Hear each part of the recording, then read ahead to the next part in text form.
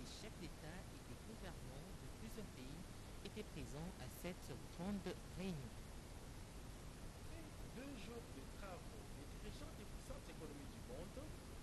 de principe de mener des actions en faveur des économies des pays les moins avancés. Si la réflexion sur les climats va se poursuivre à Glasgow, au plan économique et sanitaire, quelques avancées significatives ont été notées.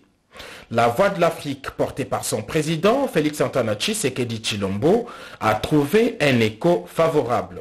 Eh il s'est adressé plusieurs fois à ses pairs, aux leaders mondiaux. Euh, les questions essentielles qu'il a abordées sont d'abord la préservation des faits, bien entendu, de l'environnement et la responsabilité particulière de l'Afrique et de la RDC par rapport à ces questions, mais également la nécessité d'avoir un regard particulier pour le continent africain, qui est celui qui est le plus en retard en matière de développement.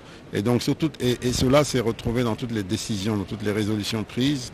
Eh bien, tous les leaders mondiaux ont convenu qu'il fallait accorder euh, euh, une attention, un traitement particulier aux pays les plus en besoin d'appui euh, de divers ordres. La voix de l'Afrique a été entendue et c'est une évidence parce que Aujourd'hui, le développement durable dépend en grande partie de la manière dont l'Afrique va se développer, car l'Afrique est la partie du monde la plus dynamique sur le plan démographique et celle qui a le plus grand retard à rattraper en termes économiques. L'autre résultat concret du sommet des Roms aura été l'approbation de la réforme de la taxation internationale. Invitée au sommet, la présidente de l'Organisation mondiale du commerce a salué le plaidoyer fait par le président en exercice de l'Union africaine. Pour le G20, je pense que Monsieur le Président, il a vraiment prononcé des discours euh, très, très calibrés, très importants pour l'Afrique. Très clair ce qu'on veut pour nous euh, en ce qui concerne nos demandes vis-à-vis le G20. En ce qui concerne le, le climat, le changement de climat et l'environnement, on demande les 100 milliards de dollars qu'ils ont promis pour nous aider à faire la transition climatique. En ce qui concerne euh, euh, la pandémie, on demande l'accès au vaccin. C'est tout, parce que ce n'est pas possible de, voir que 60% de pays développés, que le, 60% de la population sont vaccinés en comparaison avec 100% des Africains. Après Rome, les leaders mondiaux vont se retrouver dès ce lundi à Glasgow dans un format beaucoup plus large pour parler climat. C'était là la clôture du sommet du G20. Le chef de l'État et président en exercice de l'Union africaine, Félix Antoine Tshisekedi Chilombo, a fait entendre la voix du continent africain pour euh, défendre les intérêts économiques de ce continent. Revenons à présent à Kinshasa. Le mot d'ordre des pourparlers, bon syndicat de gouvernement euh, concernant la suspension de la grève des enseignants n'a pas du tout été respecté nos reporters étaient sur terrain pour faire le constat. Confusion autour de la suspension de la grève des enseignants de l'EPST. Deux messages contradictoires sont distillés sur le mot d'ordre de la reprise des cours ce lundi 1er novembre 2021 à travers la République démocratique du Congo. Pourtant, les bons syndicats et le gouvernement sont en négociation à la loge dans le Congo central. Sur le terrain, à Kinshasa, les élèves sont dans leur salle de classe ou à l'extérieur, alors que les enseignants refusent de donner cours. Cas du lycée Chaumba, du Sacré-Cœur, Bosangani et Boboto. Les élèves lancent les cris de détresse aux autorités compétentes pour une solution adéquate. Je suis un élève, de Boboto. Aujourd'hui, les professeurs sont venus, mais la majorité, mais on n'étudie pas. Le directeur n'est pas venu, ils ont fermé les épées. C'est pour ça que nous sommes ici en train de. Ah, s'en fout, c'est l'argent. Même des arrois du côté des parents d'élèves qui déplorent cette situation. Non, les cours ne sont pas donnés normalement parce que j'ai laissé l'enfant à l'école le matin comme c'était prévu, arrivé, je pose la question, est-ce que vous avez eu cours? Oh non, on n'a pas eu cours. Et tout à l'heure là, je viens de poser la question à l'un des, directeurs. Est-ce que demain, on doit emmener encore les enfants? Oh non, bah, vous voyez la situation. Si les enfants n'ont pas étudié aujourd'hui, mais demain, ça sera comment? Je suis sorti vraiment énervé. S'ils savaient que non, il y avait parcours, il ne fallait pas nous faire déplacer. Hein. C'est de l'argent que nous, nous, dépensons. Hein. Quand même, s'ils si, ne se mettent pas d'accord, qu'ils nous le disent une fois pour toutes, comme ça on sait que, comment nous, en tenir. Mi-figue, mi-raisin à l'EPA2 et l'EPA3 dans l'enceinte de l'antenne de la Gombe. Certains enseignants dispensent des cours, d'autres croisent le bras à l'extérieur. Les élèves sont au rendez-vous, affirment les sous-prophètes de cette province éducationnelle de Lukunga. Comme il y a eu suspension de la grève, les spoules et moi, nous avons dépêché sur le terrain les inspecteurs itinérants qui vont nous rapporter le rapport sur la reprise ou non des cours aujourd'hui. Mais dans les écoles non conventionnées, c'est-à-dire celles que le commun de mortels appelle l'école officielle, hein, les cours se donnent depuis la rentrée du 4 octobre. En la Lodge, dans le Congo central, les négociations se poursuivent entre les bons syndicales et le gouvernement. Du côté du bon syndical, le gouvernement doit respecter ses engagements qui se résument à l'augmentation des salaires et au paiement des nouvelles unités. Le ministre de l'EPST, Tony Mwaba, a donné des précisions quant à la gratuité de l'enseignement. Seules les classes du primaire sont concernées et non la maternelle et les autres classes. C'est en suivre dans ce commentaire de Séverine Pascal Katanda. À travers une circulaire revue sur les frais de scolarité 2021-2022, le ministre de l'enseignement primaire, secondaire et technique, Tony Mwaba, chasse la confusion qui a existé dans l'arrêté portant sur la gratuité scolaire ainsi que son champ d'action. Des frais scolaires dans les établissements publics d'enseignement maternel, primaire, secondaire et technique. Au niveau primaire, les frais scolaires sont définitivement et totalement supprimés et ne peuvent être mentionnés sur les arrêtés provinciaux fixant le frais scolaire. Il en est de même pour le frais suivant. Minerval, prime, assurance scolaire, frais de participation à l'ENAFEP et frais d'identification et suivi informatisé des élèves au niveau maternel, secondaire général, cycle court et des humanités. Les frais scolaires seront fixés conformément à l'article 177 de la loi cadre numéro 14 004 du 11 février 2014 de l'enseignement national qui dispose de frais scolaires dans les établissements publics de l'EPST. Ces frais sont fixés par arrêté du gouverneur sur proposition du comité provincial ou urbain de l'EPST. Il s'agit de frais de fonctionnement, du minerval, de frais de bulletin de frais de participation au jury national du cycle court, de frais pour l'enseignement à distance, de frais de la carte nationale d'identification. Pour le frais technique destiné à assurer les fonctionnements des ateliers et laboratoires des établissements publics d'enseignement technique, un appui pour suppléer aux besoins de l'enseignant et c'est sous le contrôle du comité de gestion des écoles étant donné que la gratuité ne s'applique exclusivement qu'à l'école primaire interdiction de frais de motivation, suppression de la pratique de clés de répartition. Tout gestionnaire de l'enseignement maternel primaire, secondaire et technique qui exigera de frais autres que ceux prévus par la présente circulaire, des sanctions disciplinaires et judiciaires seront prises contre lui. Le secrétaire général à l'EPST est chargé de l'exécution de la présente circulaire. Et à l'Assemblée nationale, les députés nationaux ont voté pour la onzième fois le projet de loi portant prorogation de l'état de siège pour les provinces du Nord Kivu et de l'Ituri par euh, la séance plénière était conduite par le premier euh, vice-président Jean-Marc Kabound à Kabound qui, devant les élus euh, du peuple, a demandé au vice-premier ministre, ministre de la Justice, Rose Montombo, de les associer aux travaux des exposés de motifs. C'est un reportage de Sylvie Moembo.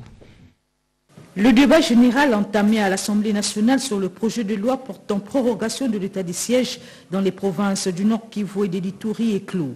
Pour la onzième fois, le gouvernement de la République, par l'entremise de la ministre d'État, ministre de la Justice et garde de Soros Mutombo, accompagné du ministre de la Défense nationale, André Kabanda, et de relations avec le Parlement, est venu solliciter cette énième prorogation aux élus du peuple. Après l'économie générale faite par la ministre d'État, ministre de la Justice et garde de Sceaux, l'ensemble des interventions à la tribune n'ont servi non seulement qu'à livrer les aspects critiquables, mais aussi des pistes d'amélioration. Sous la conduite du premier vice-président de l'Assemblée nationale, Jean-Marc Kabound à Kabound, La ministre d'État, ministre de la Justice et garde des Sceaux, Rose Mutombo, a promis à la représentation nationale qu'un cadre de concertation sera mis en place entre le gouvernement et les députés nationaux du Nord Kivu pour des échanges réguliers et permanents.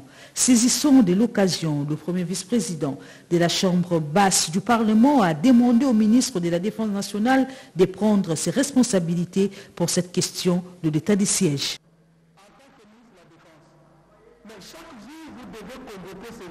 Cet état-major-là, pour vous faire l'état des lieux des avancements des opérations. Mais qui nous interdit de le faire? Alors si ces généraux ne vous obéissent pas, dites-le nous ici. Nous sommes la représentation du peuple ici. Vous êtes responsables vis-à-vis du peuple ici. Ce ne sont pas ces généraux. C'est vrai, nous sommes dans l'Union sacrée, mais attendez, devant de pareilles situations où il y a des pertes en vie humaines, nous ne pouvons pas être insensibles.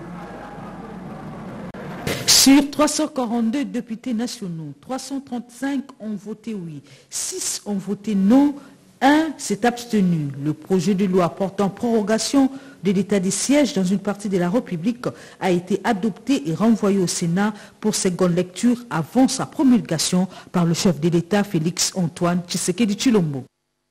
Parlons sécurité à présent dans le souci de permettre une paix durable, un développement intégral et une sécurité dans l'espace régional de la SADC. Le comité permanent défense et renseignement de ces 15 États était présent à Kinshasa pour sa 43e réunion, réunion euh, qui s'est déroulée au Collège des hautes études stratégiques et de défense CHESD. Du 24 au 30 octobre 2021, tous les responsables militaires experts de la question défense et renseignement de la communauté de développement d'Afrique australe se sont réunis à Kinshasa dans la salle de souvenirs du Collège des hautes études de stratégie et de défense. C'est le chef d'état-major général adjoint en charge des opérations et renseignements, le lieutenant général Jean-Claude Yave, représentant personnel du chef d'état-major général, qui a présidé l'ouverture et la clôture de ces assises en présence des délégués des 15 États de la SADC. Il suffit que les États s'engagent avec détermination pour la réalisation des objectifs retenus.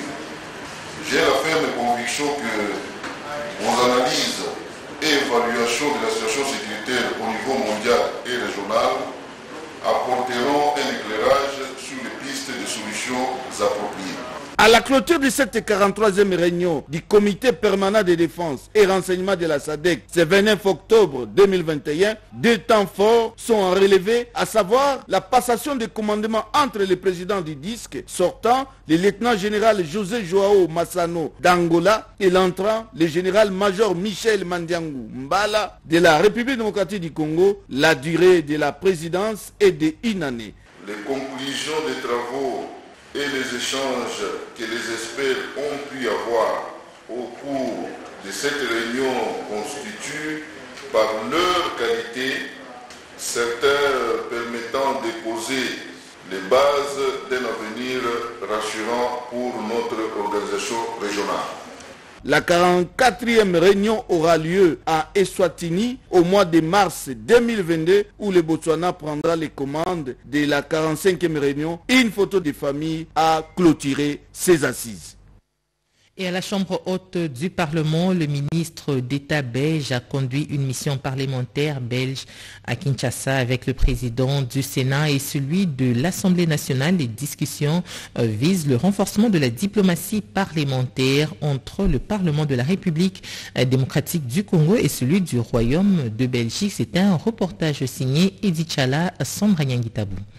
Le renforcement de la diplomatie parlementaire entre la RDC et le Royaume de Belgique, une mission du Parlement belge conduite par le ministre d'État André Flao sur invitation du président du Sénat Modeste Bahati est à Kinshasa. Lundi, la délégation a eu une séance de travail avec les bureaux des deux chambres du Parlement congolais. D'abord avec le président du Sénat Modeste Bahati, à côté de tous les membres de son bureau, ainsi que les députés et sénateurs, membres du groupe d'amitié RDC Belgique de l'Assemblée nationale et du Sénat. Ensuite, l'honorable président du Sénat a accompagné ses hôtes au cabinet du président de l'Assemblée nationale, Christophe Mbosoko Diapwanga, où ils ont poursuivi les échanges sur plusieurs sujets. L'organisation de la grande foire des entrepreneurs qui s'ouvre ce vendredi à Kinshasa, s'est aussi invité au menu des échanges. Cette visite aboutira à la signature d'un protocole d'accord entre deux parlements pour se soutenir mutuellement dans plusieurs domaines. L'accord porte notamment sur l'échange des informations et d'expériences entre les parlements de ces deux pays dont les relations sont historiques. Nous entendons par nos contacts ici donner le signal que nous voulons effectivement intensifier les rapports entre le Congo et la Belgique, en commençant notamment par euh, les rapports entre les assemblées parlementaires, l'Assemblée nationale et le Sénat ici, et les assemblées Chambre des représentants et Sénat en Belgique. Nous voulons avoir une multitude de contacts avec un grand nombre de ministres, jusque y compris le contact avec le président de la République, pour effectivement évaluer le chemin parcouru depuis sa première visite en Belgique en 2019 et de voir dans les domaines où on peut aider à accentuer le partenariat, notamment le partenariat entre des start-up et euh, des entrepreneurs ici dans votre pays. Pour rappel, c'est à l'aéroport international de Ndjili que la délégation est arrivée à Kinshasa. Elle a été accueillie au pied de l'avion par le deuxième vice-président du Sénat, Sangoumate Mosai. André Flao et toute la délégation belge étaient également reçus par le Premier ministre Jean-Michel Sama Lukonde Les échanges ont porté sur le renforcement, euh, euh, du partenariat RDC-Belgique. Pati Tondong Kizonda reportage délégation des parlementaires belges, conduite par André Flao, ministre d'État et ancien président du Parlement fédéral de Belgique, à la primature ce lundi 1er novembre 2021. Les chefs du gouvernement Jean-Michel Samal Okonde et ses autres démarques ont tablé leurs échanges sur la relance du partenariat entre Kinshasa et Bruxelles, les processus électoraux des petites et moyennes entreprises. André Flao retient de cette séance de travail un signal fort qui donnera du tonus à la reprise des partenariats entre la République démocratique du Congo et la Belgique. On a aussi parlé de, la symbolique entre nos deux, États, notre histoire euh, commune, euh, à laquelle il faut réfléchir et la traiter de façon équilibrée. On a parlé des défis qui sont ici importants, qui ont été définis aussi par le, le chef de l'État. Il y a euh, l'enseignement, il y a la santé, il y a la formation, il y a des initiatives qui peuvent être prises en termes de partenariat. Les deux parties se sont accordées sur la philosophie et l'objet de la mission parlementaire belge à Kinshasa.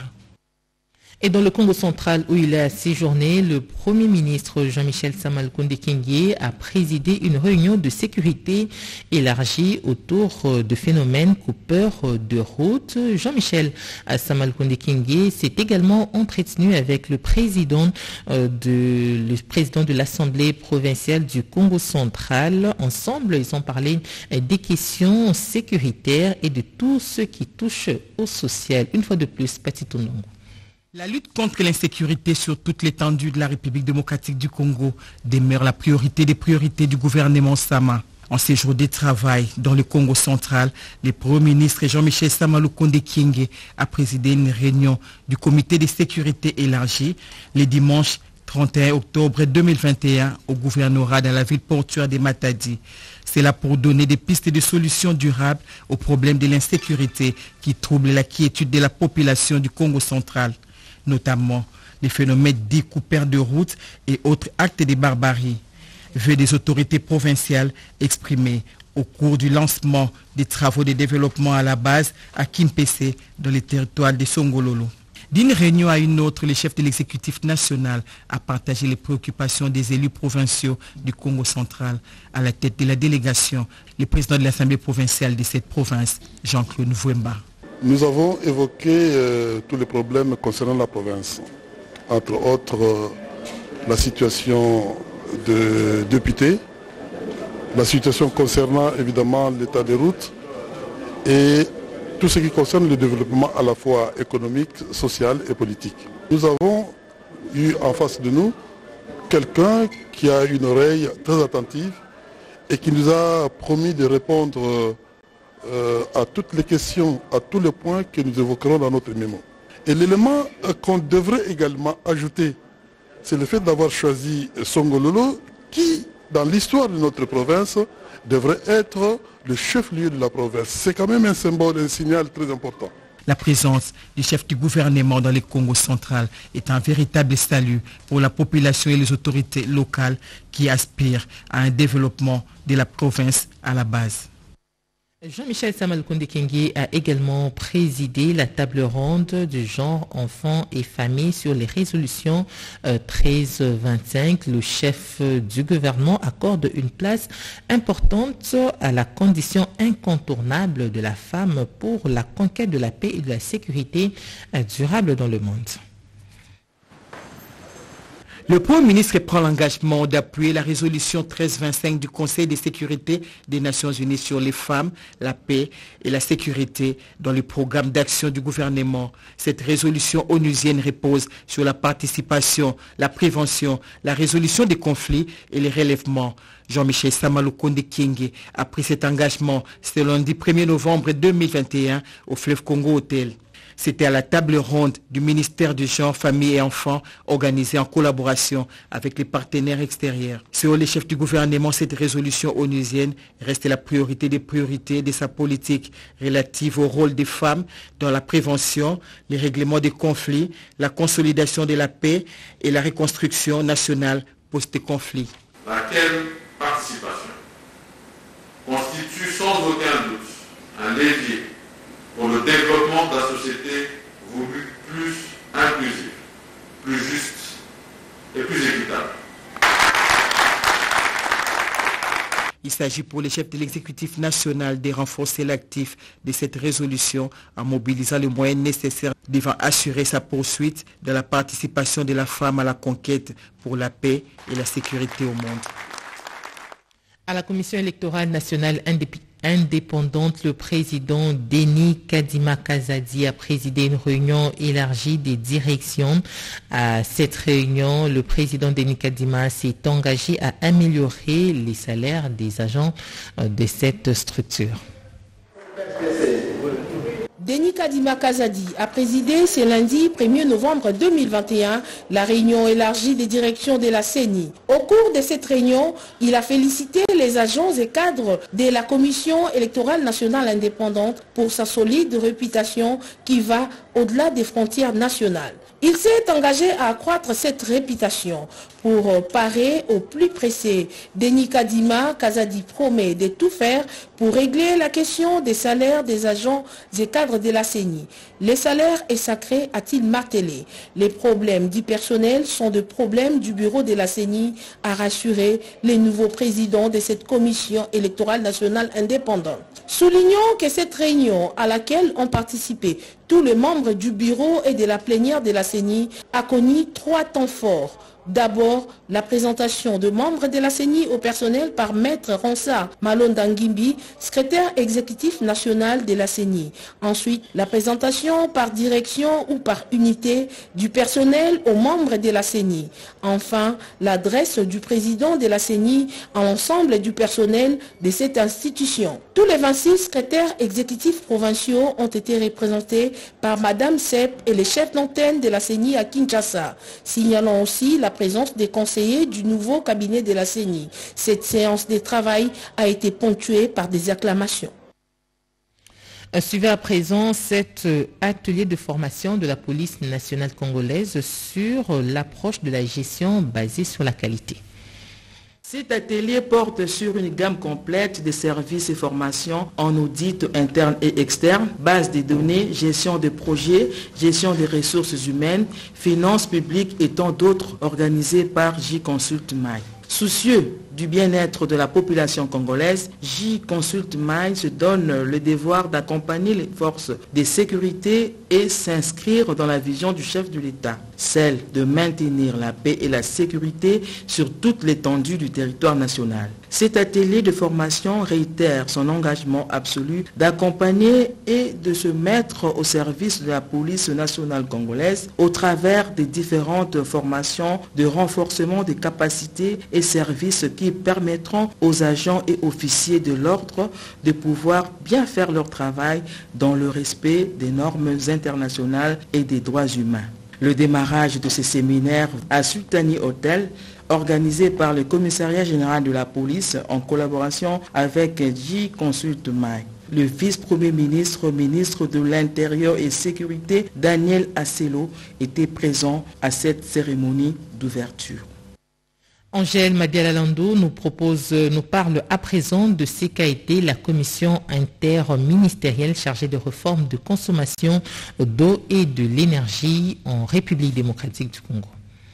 Régie des eaux, deux entreprises structurelles du portefeuille éprouvent d'énormes difficultés. Plusieurs ayants droit et officiers de l'armée et de la police qui ont 5, 6, voire 7 parcelles ne payent pas leurs factures. Et pourtant, ce sont des montants faramineux. Les agents de la SNEL et de la Régie des eaux préfèrent s'en prendre aux pauvres populations de Njili, Massina, Kimbanteke, Matete, Mongafula et autres. Il faut un changement radical. La commission suggère la suppression pure et simple de la notion des droit, le paiement par les bénéficiaires de logements à charge du trésor public des factures de leur consommation d'eau et d'électricité, la non prise en charge par le trésor public des consommations d'eau et d'électricité des édifices abritant les institutions politiques, les services décentralisés, les services publics et établissements euh, publics. La fixation sans équivoque de la liste des bénéficiaires de la prise en charge par le trésor public. Toutefois, la situation des militaires et policiers ayant droit reste maintenue pour un seul point raccordé. Vu que le Trésor public doit 375 milliards de francs congolais à la Régie des eaux et 205 millions de francs congolais à la SNEL. Au titre d'obligations fiscales et non fiscales, c'est-à-dire les régies financières, la SNEL et la Régie des eaux doivent à la DGI, la DGRAD et la DGDA un montant de l'ordre de près de 37 milliards de francs congolais côté Régie des eaux et plus de 85 milliards de francs congolais côté SNEL. Le portefeuille étant l'épine dorsale de notre pays, il faudra la signature d'un arrêté interministériel pour faire le suivi des paiements de ces dettes croisées. Quatre morts, c'est le bilan de cet accident de circulation à Songololo, à la base le culbutement d'un train de marchandises. Regardez. Quatre morts et deux blessés, c'est le bilan du culbutement d'un train marchandises dans le territoire de Songololo entre les villages Mweke et Kiazi au Congo central. Le drame s'est produit le samedi 30 octobre aux environs de 20 heures. Le gouvernement central a dépêché sur place le ministre de Transport, Voies des Communications et Désenclavement. Cheribin Okende Senga, accompagné de son vice-ministre Marc du député national Eliezer Tamboué, ainsi que le comité de gestion de la Société commerciale de transport et port pour faire le constat. D'après les premières informations, l'accident serait dû à la vétusté totale des équipements de la SCTP, notamment les rails, trains, matériel de communication et autres. Il faudra donc que nous puissions nous investir très rapidement pour euh, l'entretien, la réhabilitation de la voie ferrée et aussi euh, euh, le pourvoi en équipement approprié pour que la SCTP puisse rendre les services à la nation dans des conditions de sécurité requises. Je crois que c'est une circonstance très douloureuse. Nous avons vu des vies humaines qui ont été fauchées. Ensemble, nous devons dire plus jamais ça. Les corps de victimes sont mis à la morgue et seront restitués à leur famille dès ce lundi. La délégation a rendu visite aux deux blessés. Ces derniers seront transférés à Kinshasa. Suivez à présent ce qu'a été le financement des femmes vulnérables pour leur autonomisation. Si tu me donnes du poisson, je mangerai un jour. Mais si tu m'apprends à pêcher, je mangerai toujours. Cette parole de sagesse a inspiré les femmes regroupées au sein du Parti social et démocratie pour le peuple afin d'aider leurs semblables à s'offrir une autonomie financière à travers de petits commerces. Difficile de contenir leurs émotions, les bénéficiaires étaient obligés d'esquisser quelques pas de danse. C'est le cas d'une d'entre elles une activité qui entre dans le cadre du lancement de la première génération du Fonds social sans intérêt lancé aujourd'hui par le Parti social et démocratie pour le peuple, SDP. Ces fonds permettra d'assurer la survie de nombreux foyers. Le bénéficiaire n'ont pas tari des loges face à ces gestes de haute portée sociale. Nos commerces étaient pratiquement en faillite. Cette somme d'argent va nous permettre de se relever pour mieux scolariser nos enfants. Outre ces fonds remis, ces mamans ont aussi droit à des soins de santé gratuits auprès des hôpitaux partenaires en accord avec le SDP, a lâché la présidente de la Ligue des femmes, Ornella Yenamaou. Le fonds social est donc un mécanisme communautaire important mis en place par notre parti pour soutenir les activités commerciales et de nos membres qui exercent de petits commerces. Il y a lieu de signaler que ces fonds sociaux sans intérêt visent également la promotion de l'entrepreneuriat féminin. La cérémonie a été couronnée par la présence de plusieurs regroupements politiques, dont l'AFDCA, dans le but de les inciter à encourager la femme active dans les développements nationaux. Et puis, pour terminer, le ministre de la Recherche scientifique, José Mpanda Kabango, était avec les responsables de l'INERA Nyoka en Itori. Les échanges ont porté sur l'assistance du gouvernement aux agents et cadres victimes d'une attaque meurtrière. Le gouvernement va bientôt subvenir aux besoins des agents et cadres de l'Ineranyoka dans la province de Lituri. Le personnel de ce centre de recherche était victime d'une attaque meurtrière dans la nuit du 6 octobre 2021, causant des pertes en vies humaines, plusieurs blessés et quelques dégâts matériels. La délégation de l'Ineranyoka, conduite par le professeur Lutuladio, a reçu les assurances du ministre de tutelle José Mpanda Kabango quant à la réparation des préjudices causés qui en avait déjà parlé au Conseil des ministres et qui est en contact avec le vice-premier chargé de l'Intérieur, avec le ministre de la Défense. Il est euh, également soutenu par le Premier ministre qui est au courant de la situation.